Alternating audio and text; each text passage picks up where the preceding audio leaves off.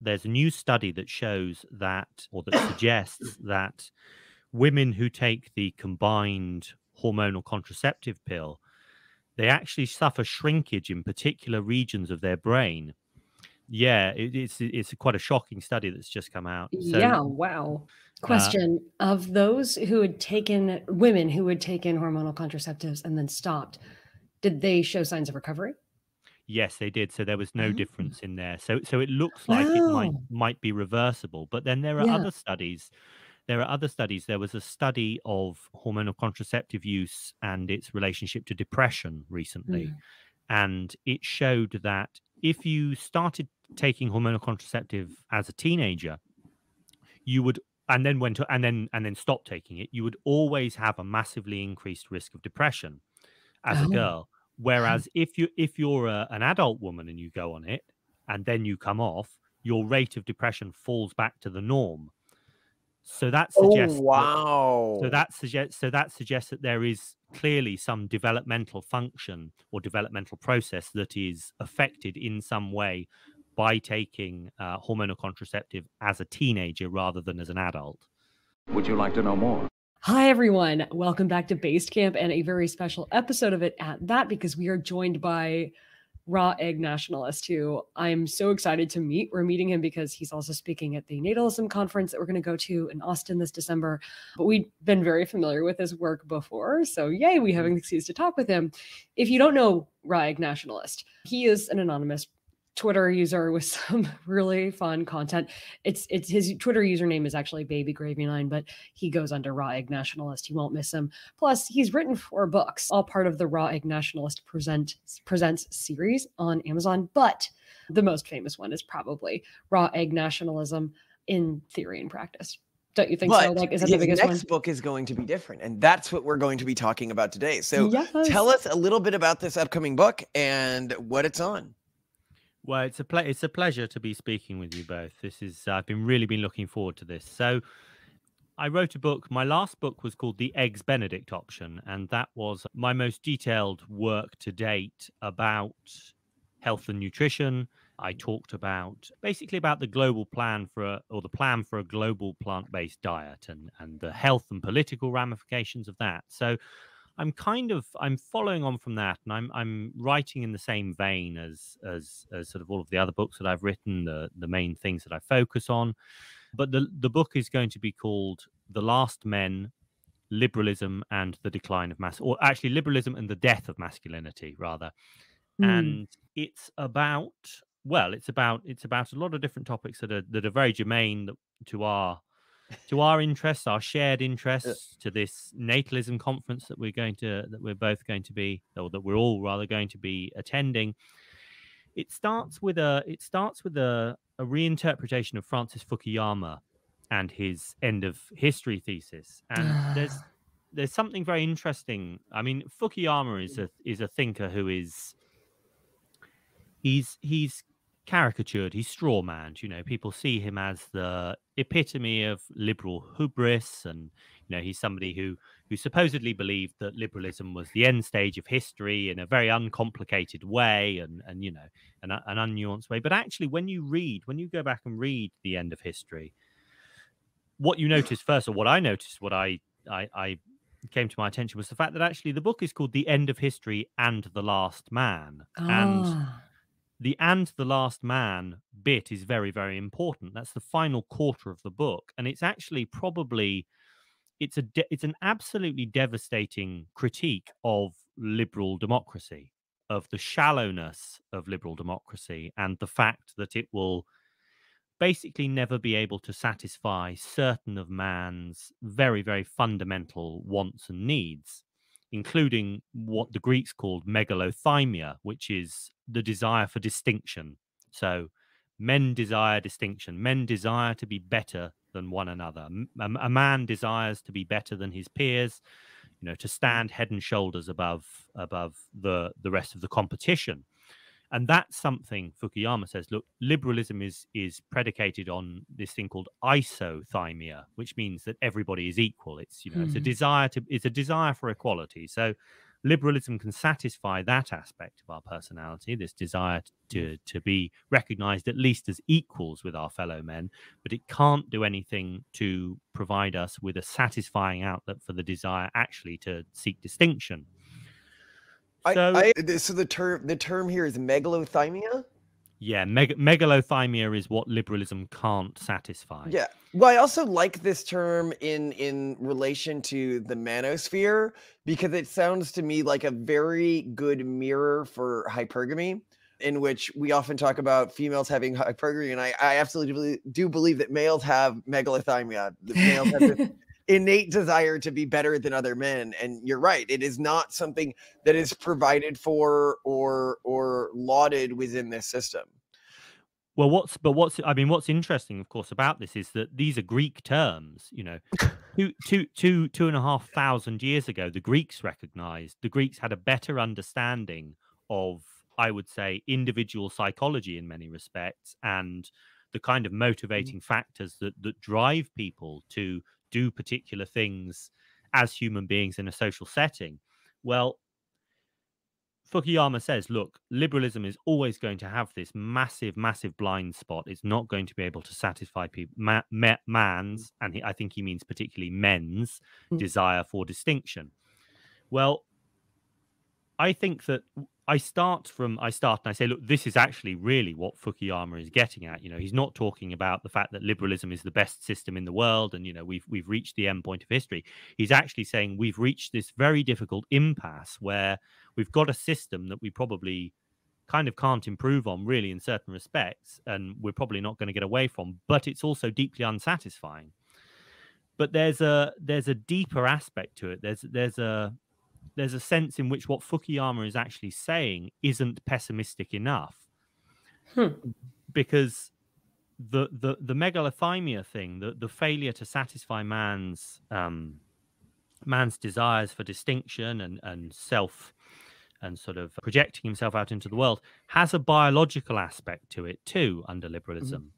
And this is where all of the stuff that I talk about, about endocrine disruptors, about unhealthy lifestyles comes in, testosterone decline in particular. Mm-hmm. And so I take, I t- I'm going to take megalothymia, the, dec- the decline of megalothymia in liberal society as a proxy for, or a, or a, as kind of code for testosterone decline and biological decline. And I'm going to look at how yeah.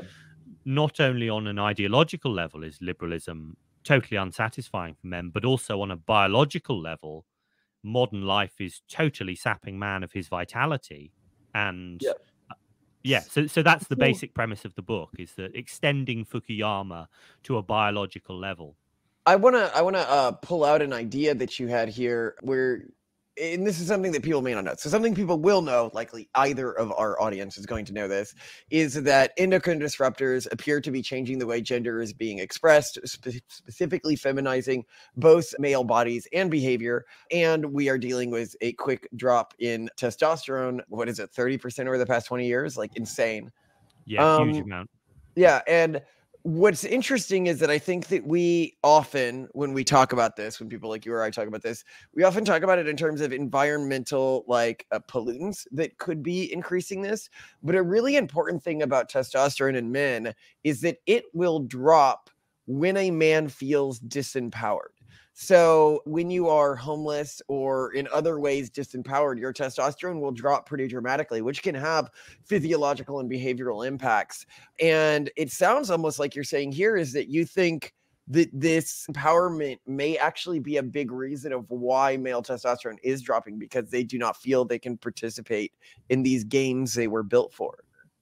Yeah, yeah, I think yeah, that's absolutely that is absolutely a central a central part of my argument. I think it's what we've done really is we've entered the perfect storm, really. So we've got all these social factors that are incredibly poisonous, really, for for traditional expressions of masculinity.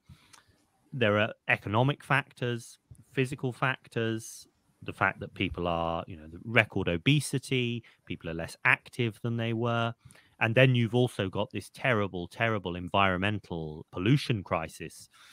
And and one of the things one of the things that i try to do is i i try to draw people's attention to the environmental pollution because it's not received a great deal of it's certainly not it's certainly not had as much of a spotlight as maybe these other factors in in testosterone decline. And that was one of mm. the things i think that the tucker carlson documentary the end of men did very well was it mm. it, it you know put this put the these these terrible terrible chemicals and their terrible effects on on male and female bodies right in the spotlight in a way that was that was actually eh, unavoidable you you couldn't not look at it and and that's and so that's yeah that's really what I'm trying to do. I'm trying to I'm trying to give a as close to a complete picture, I suppose, of of all the reasons why masculinity is is really on the wane, and and and it is, and it is, and I marshal all sorts of scientific studies because there, there there's a huge literature on testosterone decline and on the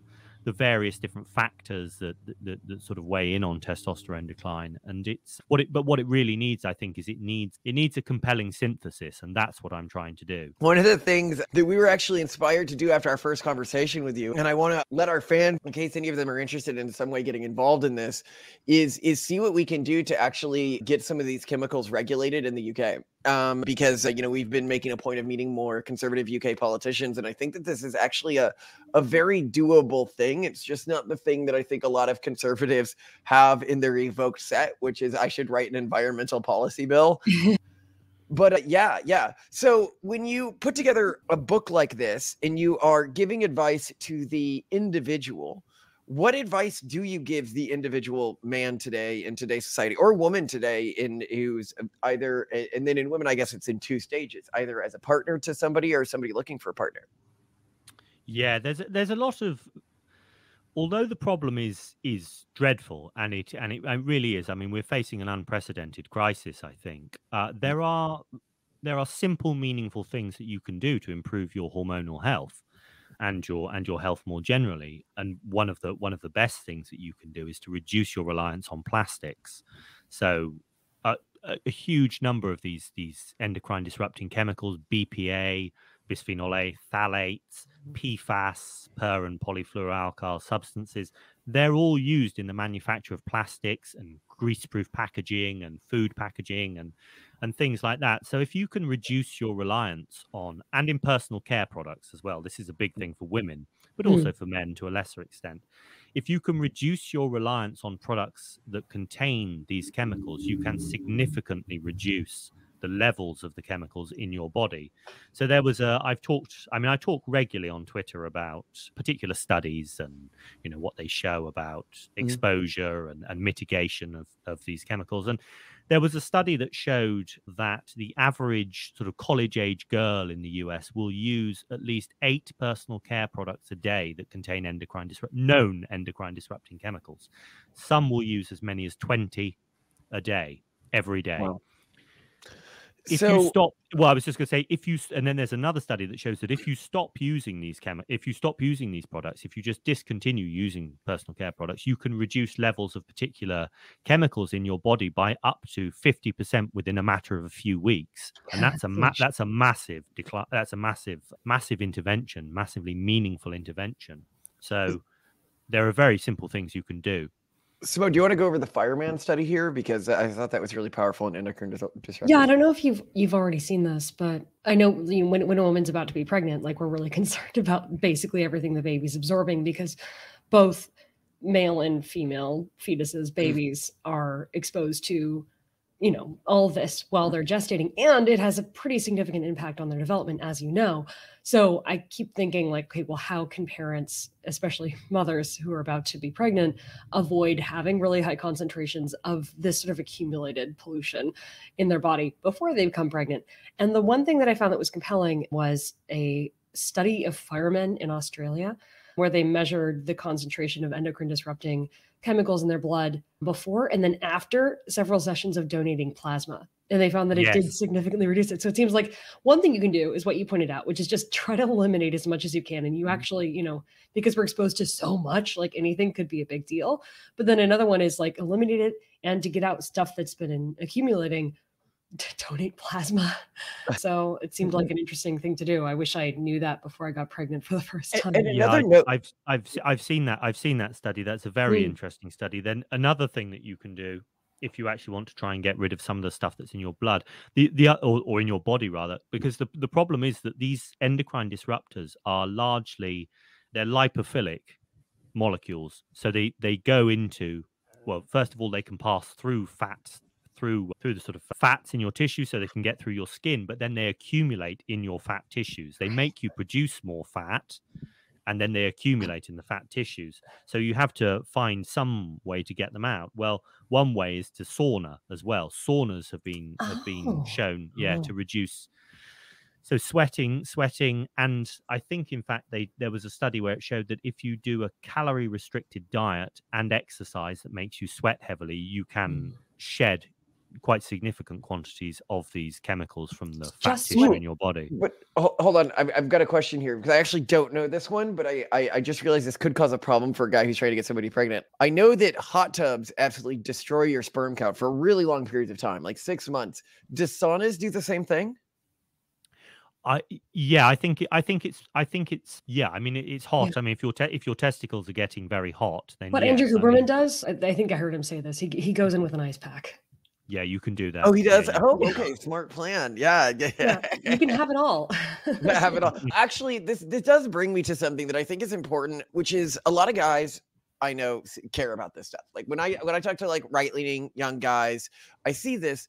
But the problem is, is that this information is actually dramatically less relevant to adult males than it is to adult females.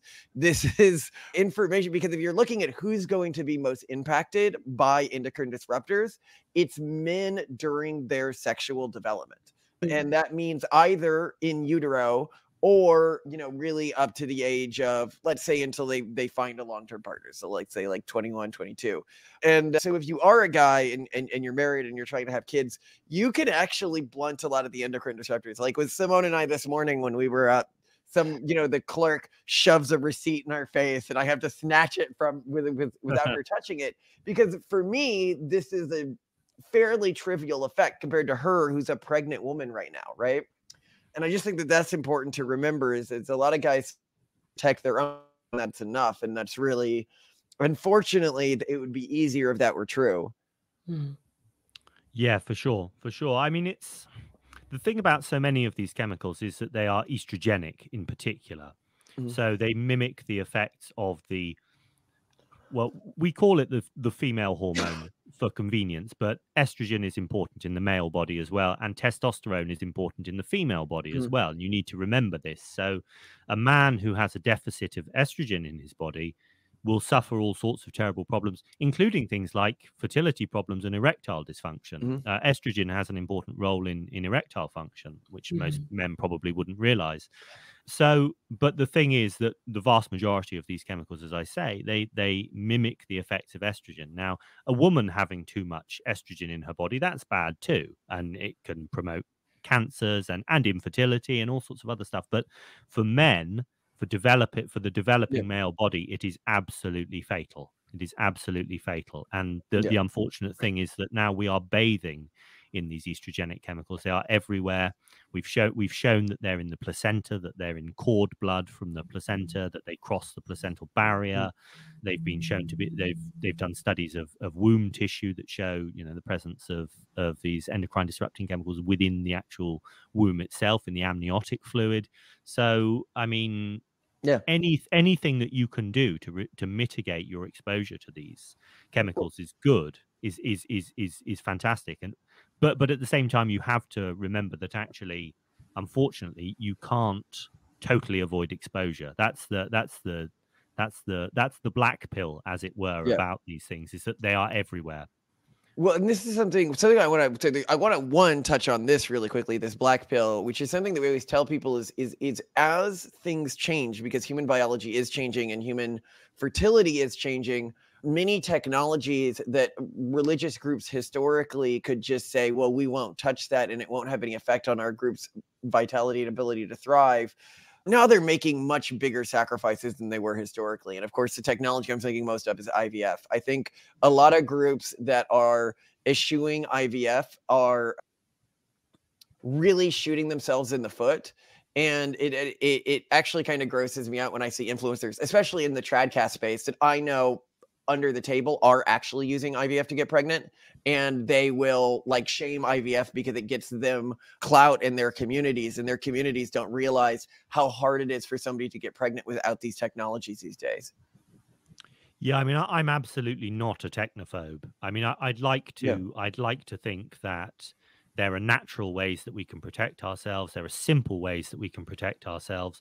You know, exercising will protect you to a degree against the effect of and uh, the effects of endocrine disruptors. So I'm going to do a a long post, I think, on Twitter tomorrow because I've dug up quite a few studies that show that actually the effects of exercise significantly mitigate some of the the nastier effects of endocrine disruptors. But it may very well be the case that actually this isn't a problem that we can solve on a societal level without the creation of new technology. I think it is it mm. is it is a civilizational, it is a species level catastrophe that's taking place. Oh yeah, and and so yeah, I mean, we I don't think that any option should be off the table. Uh, another thing I want to touch on here from the last last bit of uh, conversation is when we talk about testosterone rates falling in things like women, I think a lot of guys are not aware of the psychological effects that's going to have in, in terms of a population.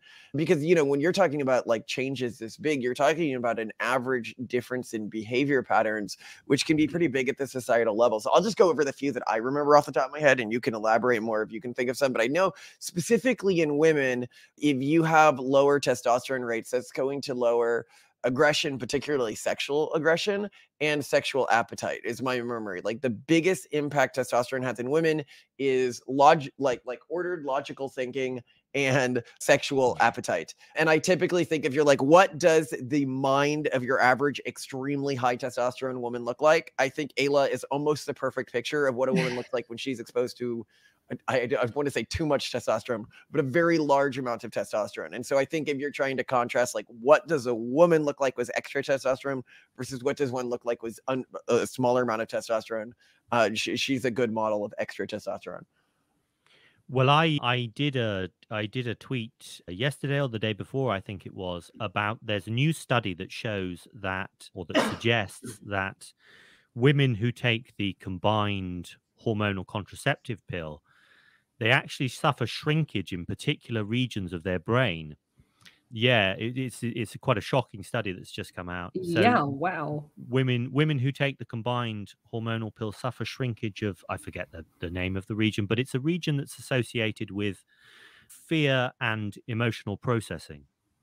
And and what they did was they they did these um, MRI scans of of the brains of women who had never taken hormonal contraceptive, of women who were of mm. women who mm. had but weren't, of women who were who were taking it, and then of men. And they showed that this very particular region in the brains of women who who were currently taking it was much thinner than than it should be and was in the in all of the other all of the other cases and so that i mean that potentially i mean all they're doing is they're showing look this region of the brain is is thinner but actually the potential implications i mean you, you can imagine and mm. look we all we all have we all have anecdotes we all have personal experience or a lot of us will have personal experience of mm. friends girlfriends who have taken the hormonal contraceptive pill and whose whose behavior has changed significantly either when they've gone on it or when they've come yeah. off it and that is that is an estrogenic that's an estrogenic chemical Question uh, of those who had taken women who had taken hormonal contraceptives and then stopped, did they show signs of recovery? Yes, they did. So there was no oh. difference in there. So so it looks like oh. it might oh. might be reversible. But then there are yeah. other studies. There are other studies. There was a study of hormonal contraceptive use and its relationship to depression recently, mm. and it showed that if you if you started taking hormonal contraceptive as a teenager, you would and then went to and then and then stopped taking it, you would always have a massively increased risk of depression as oh. a girl. Whereas if you if you're a, an adult woman and you go on it and then you come off, your rate of depression falls back to the norm. So that oh, suggests oh, wow. That, so that suggests so that suggests that there is clearly some developmental function or developmental process that is affected in some way by taking uh, hormonal contraceptive as a teenager rather than as an adult. I really need to find that study. I think that's that's going to be one of those studies I quote all the time now. Yeah, I it's it's a, it's very interesting because of course as a default it's just something you do. Like even as a teenager, even as someone who's not sexually active, you just do it. And it's that's really interesting. But it's just huge it's rates of depression in our society today. But of course, it can't be anything that psychologists are telling you to do because No. psychologists are the priest caste. They they do no wrong, right? Well, okay, so here's a question that I also wanted to ask. We were at a retreat this weekend and we were talking about endocrine disruptors with a lot of people. And this is something that actually comes up a lot when we talk about it. You know, we're talking about dropping testosterone, you know, that like, you know, from the Tide studies, you know, men, young boys being born kind of a little bit less like boys. You know, they have smaller anogenital distance, they have less male dimorphic play when they're kids. Um, and, you know, we say this to people, and, and, and a response that we get not uncommonly is, why is that a bad thing and i'd love for you to comment on like how do you answer people when they when they say that you know where they're like well you know who cares you know is it is it so bad if there's less testosterone or less traditionally male behavior or if, or men are less mess less dimorphic Well, well, I mean, I but there are- there are a number of different ways to approach this. I Mm. think the first the first the first thing I I would probably say is look, this is a let's put the social stuff to one side. Let's let's put aside, you know, the way that men behave. This is a biological problem. Testosterone is an index of of, of male fertility, of male health, right? Reproductive health. If testosterone levels are declining, men are less fertile it's going to be harder for people to have children and it might even as, as we're seeing now it might even get so bad that actually within a couple of decades men might not be able to to produce any sperm whatsoever the median man according to the predictions will produce zero sperm right i mean that's a that's a that's an extrapolation of of observed trends and that is you know if you are producing less testosterone your sperm quality and quantity will decline. So there's that. You uh, you know there's no getting away from that.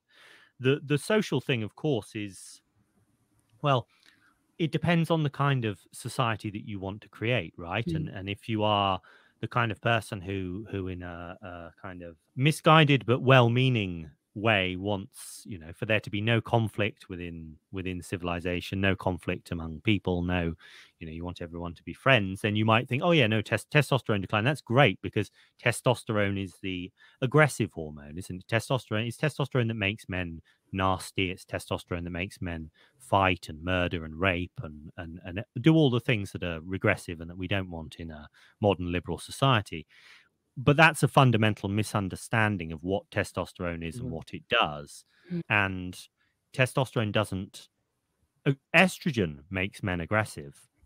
And there are plenty there are plenty of studies that show that actually it's an it's a deficit of testosterone and an imbalance of estrogen that makes men aggressive. So that's so interesting.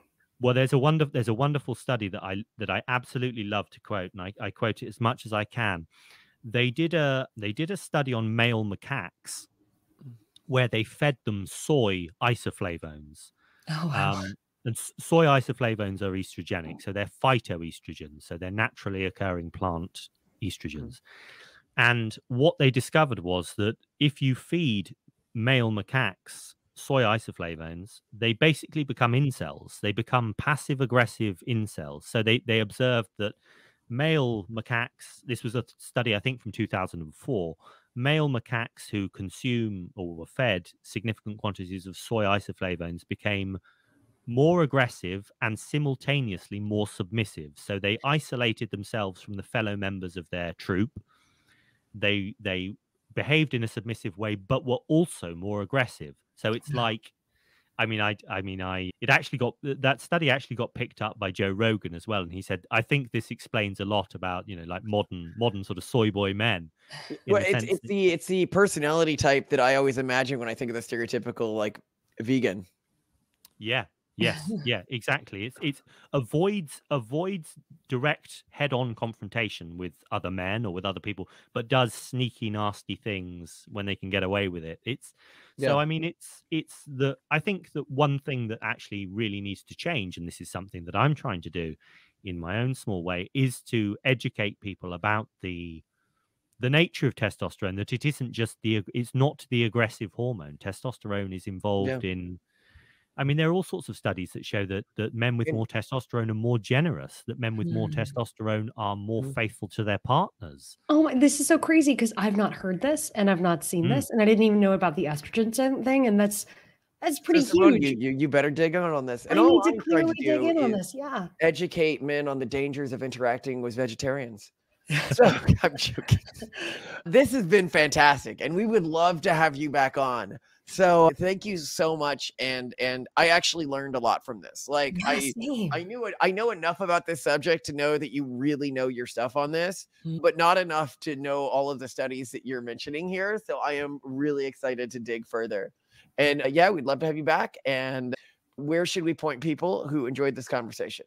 So follow me on Twitter. I'm babygravy9 and you can I have raweggnationalist.com which also will point you in the direction of all of my writing and mansworldmag.online. So I have an online magazine, men's magazine, a bit like a sort of revived Playboy.